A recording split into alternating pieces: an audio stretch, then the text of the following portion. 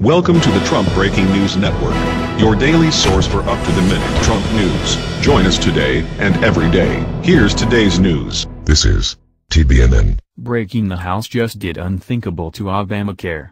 Obama is crying. By Danny Gold. Today is a historic day for our great nation. The world will remember Thursday, May 3, 2017, as the day we finally beat Obamacare. After years of promises and month of hard work by President Trump, the GOP managed to do the unthinkable. That's right. House Republicans just voted to officially repeal and replace Obamacare.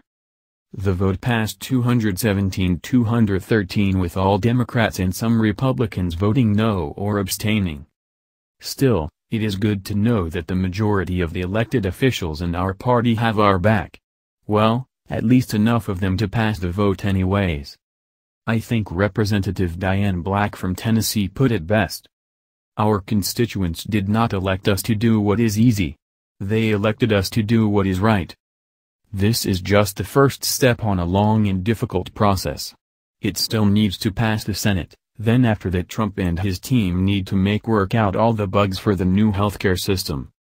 Ending Obamacare is still massive. Yeah, I think we all agree the old system didn't work super well, but Obamacare is total crap.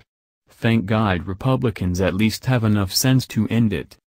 Share this with your family and friends if you know the House did the right thing today. That's the news. Join us here every day. Be sure to subscribe and click the bell.